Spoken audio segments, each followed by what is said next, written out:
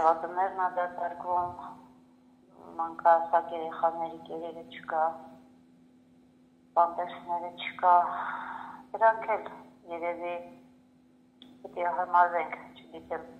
Ստեփանակերտում բնակվող 47-ամյա Տիկին Գիտան խոստովանում է վերջին մեկ շաբաթվա ընթացքում, ինչ Ադրբեջանը անգամ ռուս խաղաղապահների եւ Կարմիր խաչի միջազգային կոմիտեի միջոցով չի թույլատրում. Հումանիտար բեռների տեղափոխումը Արցախ, անորոշություն եւ անհանգստություն կա, հատկապես ալյուրի պաշարների սպառման հետ կապված։ Ընդհանուր տեղում մեր գյուղացիքը ոնց որ արդեն խելքի եկած են իրանց բանջարեղեն բան հանում, բաճարքի բան են անում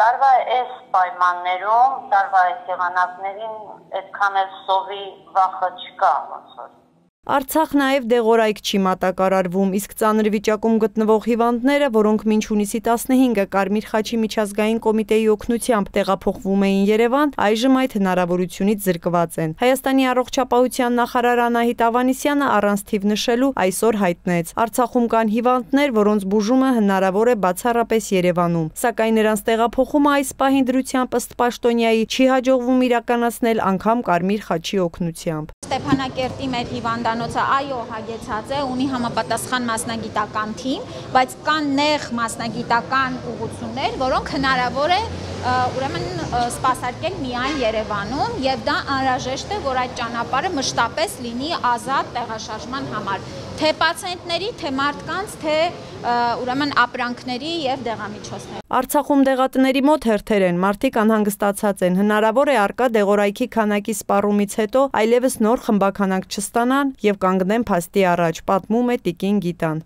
Հիվանդները ավելի շատ են ինչ առողջները, ստրեսը բոլորի մոտ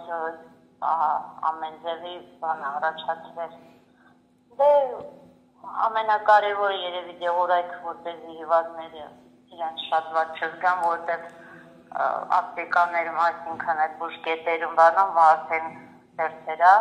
Լեռնային Ղարաբաղում իրավիճակի վատթարացումից այսօր կառավարության նիստին հերթական անգամ խոսեց Հայաստանի վարչապետը։ Փաշինյանը կրկին հիշեցրեց. Լաչինի միջանցքի ապօրինի արգելափակումը շարունակվում է իհեճուկս արդարադատության միջազգային դատարանի որոշման, որի չկատարումն ու արհամարումը ըստ Փաշինյանի բերել է հումանիտար ճգնաժամի։ Դադարեցված են սննդի եւ առաջին անհրաժեշտության ապրանքների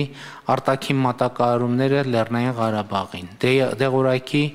էական դեֆիցիտ է արձանագրված։ Այս պայմաններում նույնիսկ ծանր հիվանդներին տեղափոխելու հնարավորություն չի տրվում։ Ամեն ինչ արվում է հայերի կյանքը Լեռնային Ղարաբաղում անհնար դարձնելու համար։ Հենց սա է էթնիկ զտման քաղաքականությունը, որի մասին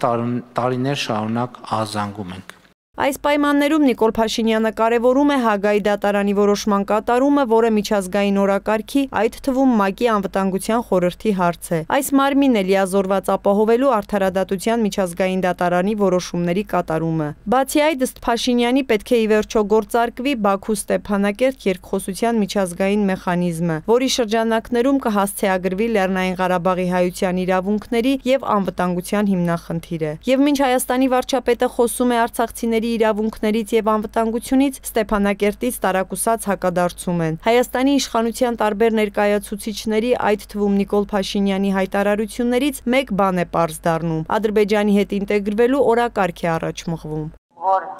իրանք տնեն մեր տեղը, իրանք չեն կարա այդ վիճակում ադրբեջանցու հետ ապրել խաղաղությունը այդտեղ բացառում է խաղաղ ճանապարհով մեր լուծումը ես չեմ տեսնում այսինքն համատեղ ադրբեջանցու հետ ապրելու այդ միտքը абսուրդ է, դա լինելու բան չէ։ 5 զավակի մայր Տիկին Գիտան սակայն խոստովանում է Արցախում հույս ունեն, որ առաջիկայում ինչ որ բան կփոխվի եւ այս իրավիճակը ի վերջո կհանգուցալուծվի։ Իսկ մինչ այդ իրենք կշարունակեն ապրել եւ պայքարել Արցախում։ Պաշտպանության բանակում ծառայող Գիտա Խաչատրյանի 4 որդիները արկելում են անգամ խոսել հայրենիքից հեռանալու մասին։ Ասում են, «Մամես ինչեր ես մտածում» ուր գնանք։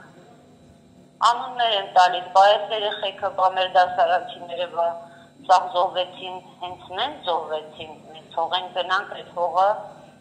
թեկուզ այս եղածը պահեն։ Վերադառնալով Ստեփանակերտում տարբեր ապրանքատեսակների սպառմանը Արցախի պետնախարարի աշխատակազմից թեև ընդունում են, որ բեռնափոխադրումների լիարժեք դադարեցումից հետո տարբեր ապրանքատեսակների մասով արկա է զգալի սղություն, այդուհանդերձ վստահեցնում են, տևական ժամանակ ձեռնարկել են հնարավոր բոլոր միջոցները բնակչության ընթացիկ կարիքները հոգալու եւ լրացուցիչ մարտահրավերների դիմակայելու նպատակով։